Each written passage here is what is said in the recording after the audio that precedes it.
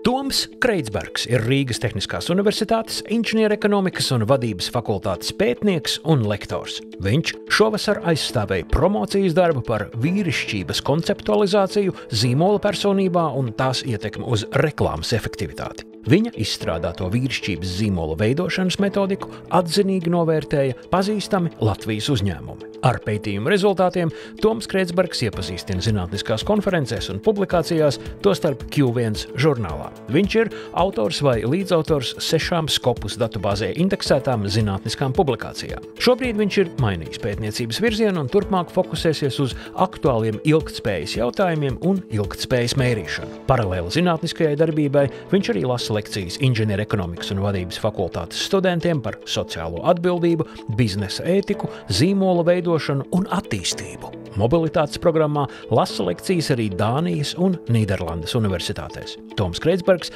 vada bakalaura un maģistra darbus.